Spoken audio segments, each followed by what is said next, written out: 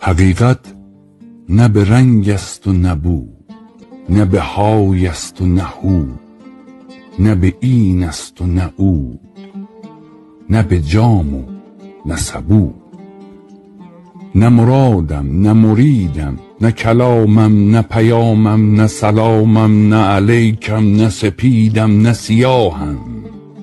نه چنانم که تو گویی نه چنینم که تو خوانی. و نه آن گونه که گفتند و شنیدی و تو دانی. و نه آن گونه که گفتند و شنیدی و تو دانی.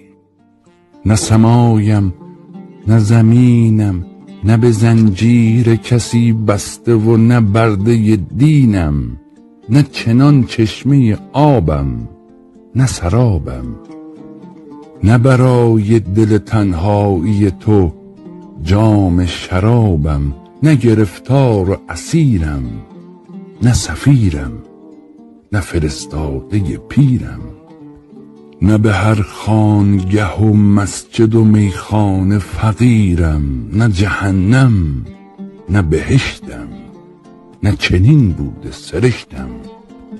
این سخن را من از امروز نگفتم ننوشتم بلکه از صبح ازل با قلم نور نوشتند. حقیقت نه به رنگ است و نه بود نه به های است و نه هو نه به این است و نه او نه به جام و نه سبو. گر به این نقطه رسیدی به تو آهسته و سربسته و در پرده بگویم. تا کسی جز من و تو نشنود این راز گهربار جهان را.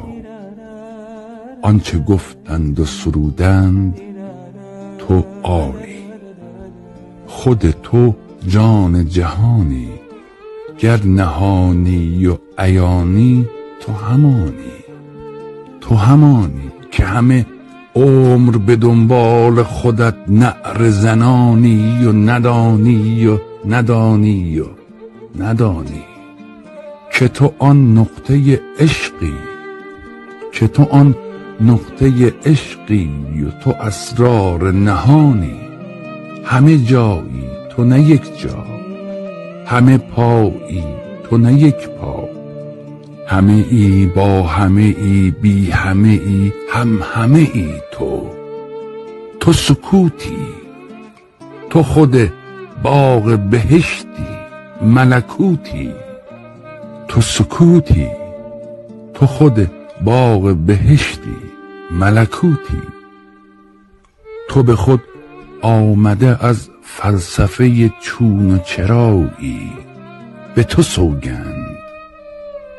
به تو سوگند گر این راز چنیدی و نترسیدی و بیدار شدی در همه افلاک خدایی نه که جزئی نه چون آب در اندام سبویی. خود اویی به خدا تا به در خانه متروکه هر عابد و زاهد به گدایی ننشینی و به جز روشنی و شعشعه پرتو خود هیچ نبینی و گل وصل بچینی. به خدا